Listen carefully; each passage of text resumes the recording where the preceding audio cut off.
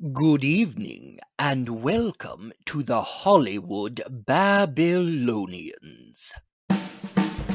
Hello, hello, hello, friends. This is your happy Hollywood history host, Mr. Ben Burke, here with my wonderful friend and co host, Miss Mallory Harwell, to talk about the plot and some of our favorite things from Billy Wilder's 1950 film noir, Sunset Boulevard. Be forewarned, there are spoilers ahead. If you liked what you heard today, be sure to tune in on Friday as we take a deep dive into the production history of the greatest horror film about Hollywood Sunset Boulevard.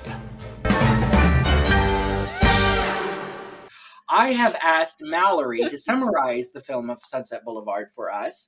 So, Mallory, uh, do you want to take it away? Sure. The primary characters you need to know for this is William Holden as Joe Gillis. So remember Joe. Gloria Swanson as Norma Desmond. Uh, Nancy Olson as Betty Schaefer. And then Erich von Stroheim as Max von Mayerling. I can't say it German enough. Von Mayerling. So those are the primary players in this. Uh, you'll meet some other ones, but that just kind of to get you an idea. Joe, Norma, and all them. Uh, so we begin this film with the biggest spoiler of the film. We run up across a uh, homicide squad arriving at an old mansion, uh, and we see our main lead, Joe, dead inside a pool. Uh, Well, and- where is that mansion, Mallory? On what street? Sunset Boulevard. We're getting very quiet. Sunset on Sunset Boulevard. Boulevard. on Sunset Boulevard. Yeah. And do you remember the address from the movie? I don't either, so don't worry. I about it. don't. I don't. So they they approach on their uh, and Joe begins to narrate about uh, you know, very much like a record scratch. I bet you're wondering how I got in this situation moment. And then we cut back to six months earlier, uh, before this whole event had even happened. Uh, and we see Joe. He is a writer for pictures, aka films, in case you didn't know.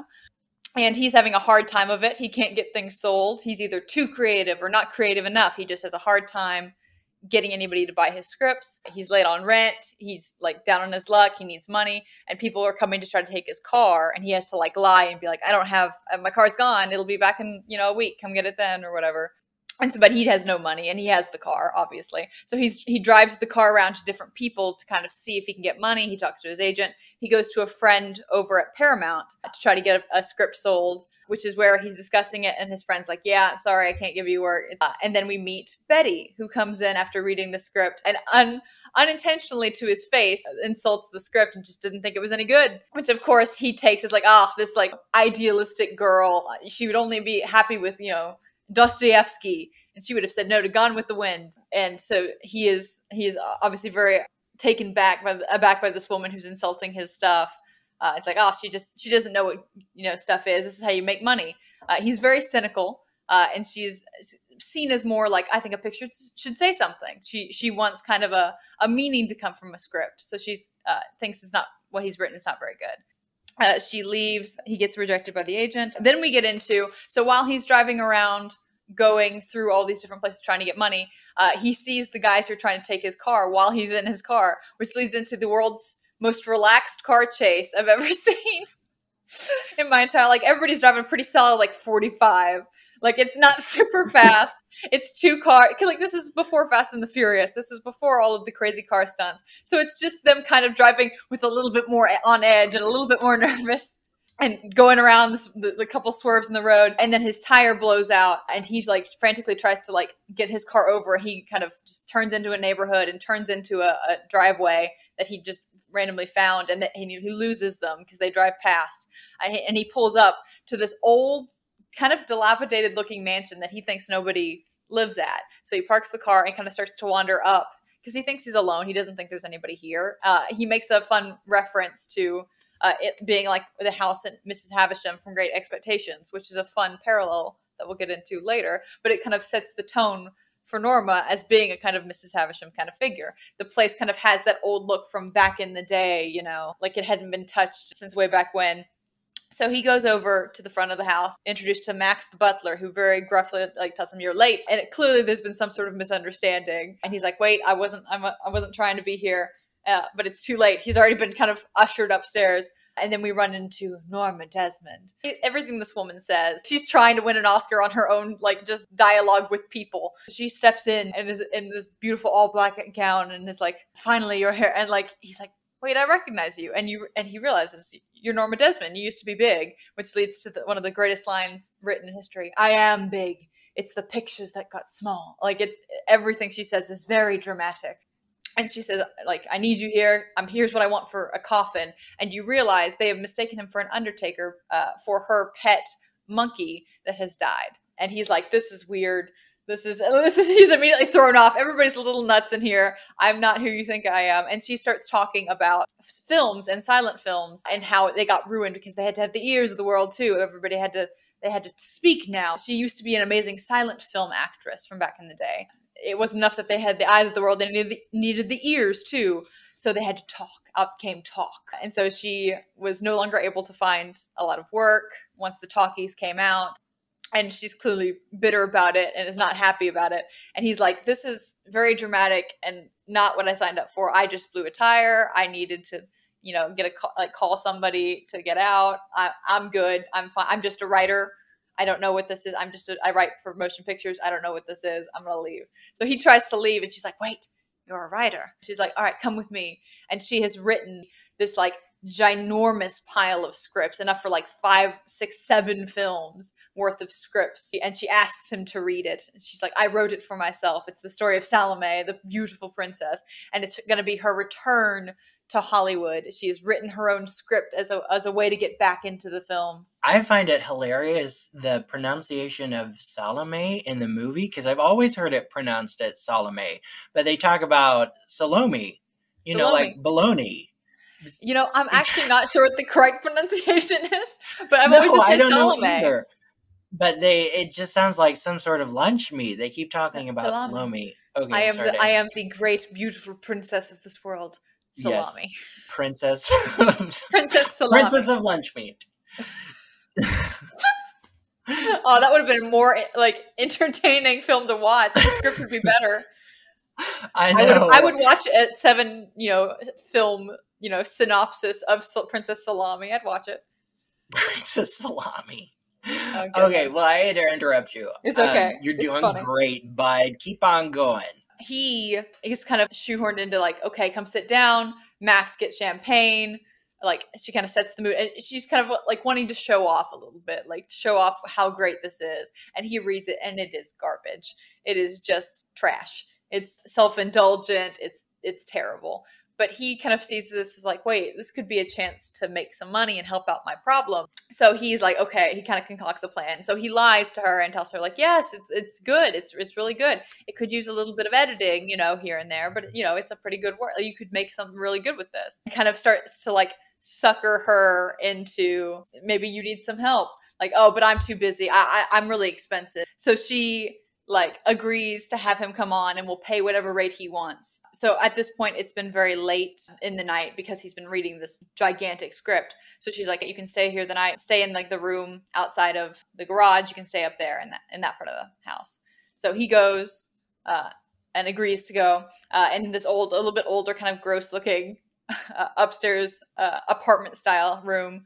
Uh, goes to sleep, has kind of a weird dream and wakes up to the most like accurate and like horrifying warning I've ever seen in a film. Max is playing Toccata in Fugue in D minor, which is the most ominous music. You only hear that music before bad things happen. It's all like bright and sunny out, and like the inside of the house is gorgeous. Like the outside is dilapidated, but the inside is gorgeous. It's well kept, but it's a very ominous foretelling. Like it feels like even if we didn't know he was going to die here, something bad's going to happen here. You can tell just by the music that's playing. Before he comes in, he notices in this apartment that all his stuff has been moved in. And he's like, What is happening? What is going on? So he runs over in a huff and is like, What did you do? Why did you bring my stuff here? Uh, and Norma's like, I asked him to do it.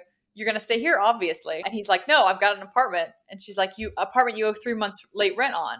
And he admits, like, Yeah, yeah, I don't have the rent for it. And she's like, I took care of it. It's already done. You'll do your work here. It's fine. And kind of waves off. He's like, I'll just take it out of my salary. And he's like, She's like, No, no, no. Just don't worry about it. It's not a big deal. Kind of waves it off. And so we kind of start to see his autonomy slowly leave him in parts. He's already lost in one day his home where he lives, and we kind of begin to see he has kind of been trapped himself without realizing it. So then they start the process. He's like, it's just going to take a couple weeks, edit this and call it a day. It does not take a couple weeks because she is very difficult to work with and she's always hovering over him, telling him he can't change things. He anytime he wants to cut a piece of the script that she's in, she won't have it. So she refuses to let him harm her baby, her script. So he has a very hard time trying to edit this and then we kind of see more as the days pass more of this house and see how it is a shrine to her They're, all that they have in this room is pictures of herself like they have a, a, portrait painted of her it's all it's a shrine to her celluloid self and then they talk about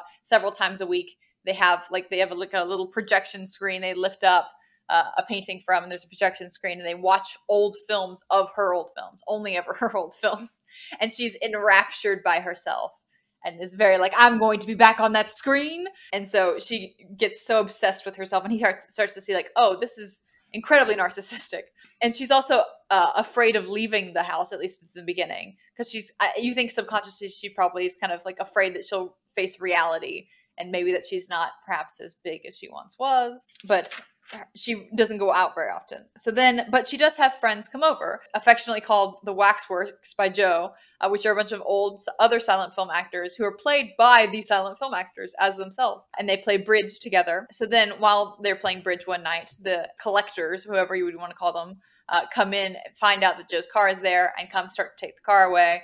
And Joe tries to get Norma, like, hey, I need cash, quick, I need something, I need to go. Uh, and she's like, I'm busy, leave me alone. So the the car gets towed away, and he loses that another sense of autonomy. Another thing he he talked about earlier, he desperately needed that car to uh, get places because it's not New York. This is you know California. You have to have a car to drive places. But she's like, oh, it's fine. I've got my car. So he is now only ever to leave through her car, and so they take many a driving trip uh, afterwards. When she starts complaining about his clothes because it's not they're not you know suitable enough. He's had the same sport coat on for ages. And he's like, I don't have any more clothes. So she's like, We're going to go get, take you shopping. So then she takes him to a fancy place and starts getting him a bunch of clothes, things he doesn't even need, like tails.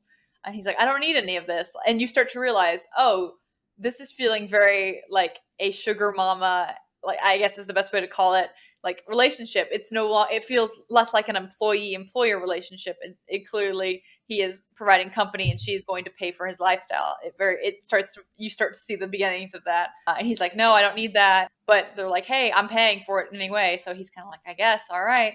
So then at one point, more time passes. They they have like rain damage is done to the place he's staying in, so he gets moved into the main house, and he actually moves into the suite where the husbands stay. So you kind of get even more of a okay he's he's uh, getting into a real precarious position right here. But so as Max is helping him unpack, uh, he notices that there's no locks on any of the doors because Madame Norma has had a history of suicide or trying to attempt to hurt herself, and the doctors found it best to you know make sure that she has no locks on any of her doors. Foreshadowment. yes, like hey, hey, here's a sign things are going to happen. Knock knock. here's, here's, the thing that things are going to no go wrong. No locks on the doors hey.